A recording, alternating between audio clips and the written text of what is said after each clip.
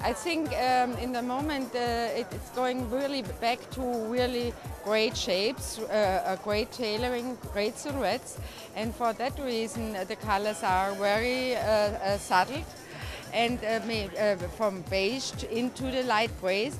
And this is for me a kind of jewelry, yes? This is for me the part of romance and this color blocking and this embroidered things. This is for me the jewelry in this collection.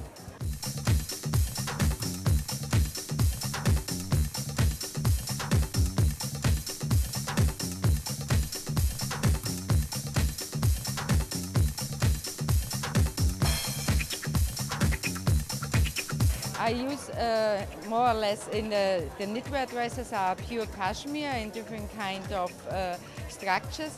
And this was a, a, a organdy, a technical organdy organza. This had, that gives the, the shine and make this see-through and not see-through uh, character from the different kind of colors.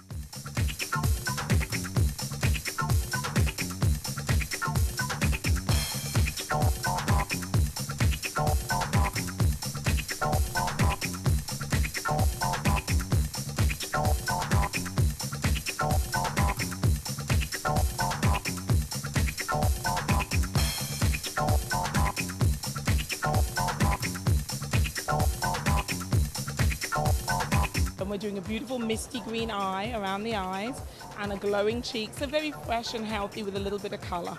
So they want the girls quite natural. And we're playing with a few accents of gold on the cupid's bow, just very fresh. And then you've got the beautiful glow on the cheeks. In the clothing, they're playing with shine versus matte. So we're just playing with that metallic on the skin and on the eyes. I'm using Max Factor actually, and a little bit of SK-II, which we love.